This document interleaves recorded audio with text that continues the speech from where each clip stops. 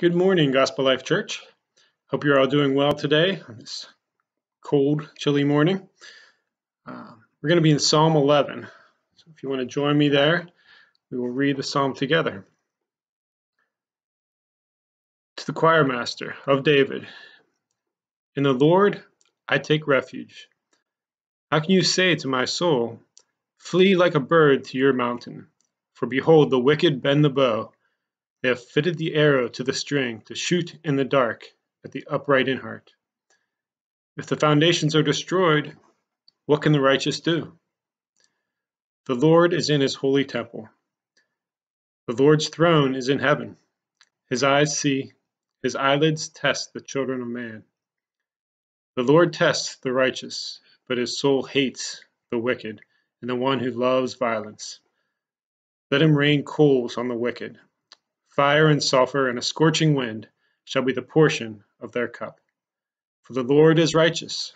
He loves righteous deeds. The upright shall behold his face. So this is a psalm of David, again written as David was in a troublesome time. Seems to be a theme uh, of David, and he writes during these times because he's he's scared. Um, whole concept of somebody having an arrow on the bow in the darkness ready to shoot you as you're trying to walk down a path in the dark that's that's scary. But david finds the perspective he needs um, in this passage. And i think i don't know about you guys but i know for myself we can all use some perspective when the world seems to be going crazy.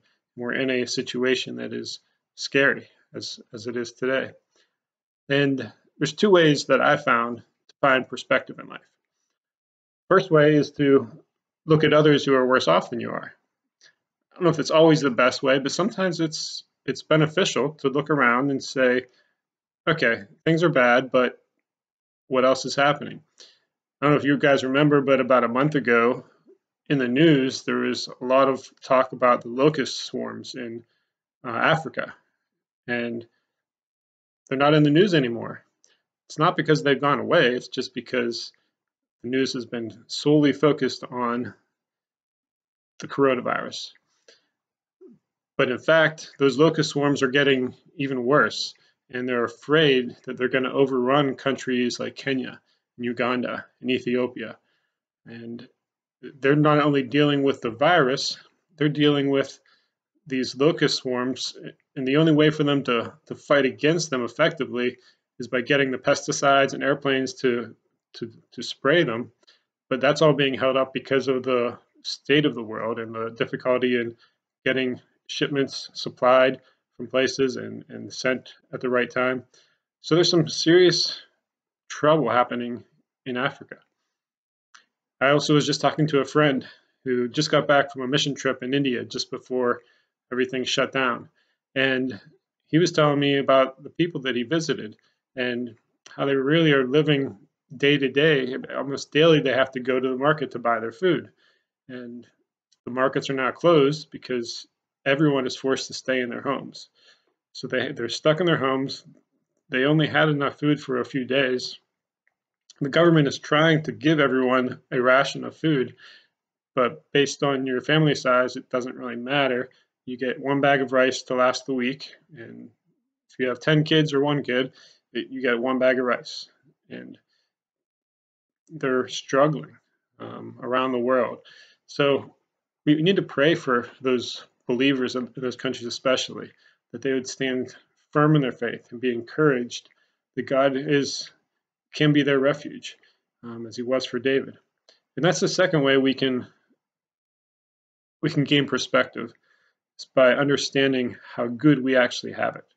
And that's what David realizes in this passage. He sees how we have a God who is just, and he will take care of the wickedness that is happening in this world. Um, he will put it to right. He will punish those that, that are doing evil. And for those that are righteous, he will, he loves them. He loves their righteous deeds and the upright shall behold his face. Who is the upright?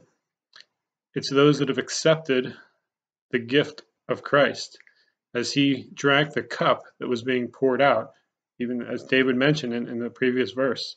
Um, the, the, fire and, and sulfur and the scorching wind, that shall all be a portion of their cup. And it's fitting that the cup of God's wrath was that was poured out from, meant for us was was drunk by Christ. Um, we have that privilege of celebrating that at Easter. Um, great perspective that David finds in this passage. So go today, get some perspective on this situation. Um, do not live in fear, but live in hope in our risen Savior. Have a great day.